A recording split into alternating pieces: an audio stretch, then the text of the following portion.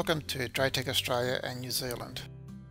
The DrayTek Vigor 2860L and the Vigor 2925L series routers have an integrated LTE modem.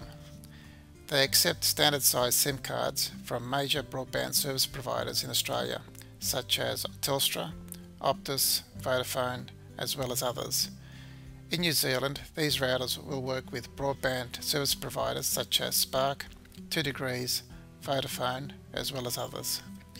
In this video, I will show you how to configure the Vigor 2860L and the Vigor 2925L series routers to enable 4G communication via the integrated LTE modem. Before we start, I should mention that the supported 4G LTE bands are band 3, band 7, band 8 and band 20. Also the frequency bands that are currently not supported are the band 28 and the 3G WCDMA band 5. The configuration steps covered here apply to Optus, Vodafone and Telstra networks. The first step is to install the SIM card into the router. Remove the SIM card covers plate using a small Phillips head screwdriver. Now insert the SIM card into the slot and ensure that the SIM card is inserted with the notch on the left hand side.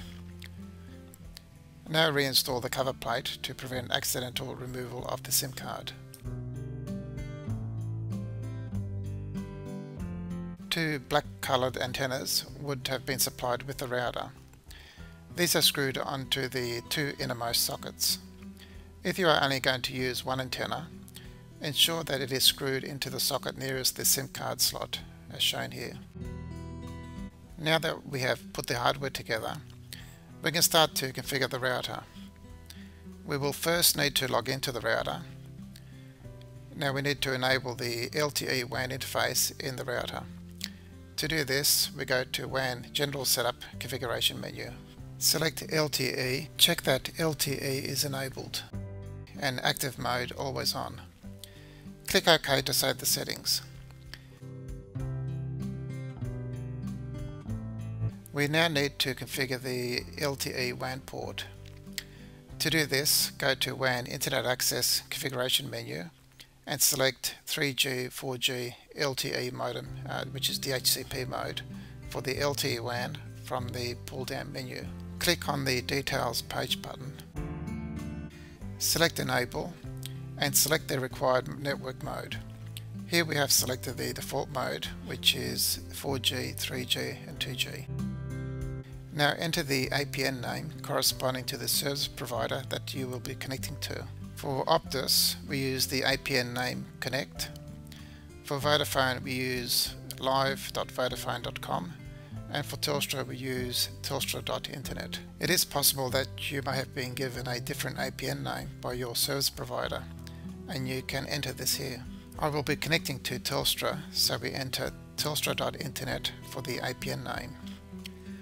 We leave the other settings at default values. Now click OK to save the settings. Once this has been done, go to the Online Status Physical Connection menu to check that the LTE connection is now up. This may take a minute and in some cases you may need to restart the router after you have completed the configuration. Once the connection is up, you should see the LTE status appear in green text and a valid IP address is shown as well as an indication of the signal quality. We can now access the internet and the setup is completed. Now we can test the connection by trying to connect to a website. I will try going to draytek.com.au. We can now see that the connection is working. Thank you for watching. For more information, please go to our website www.draytek.com.au or you can send an email to sales at draytek.com.au.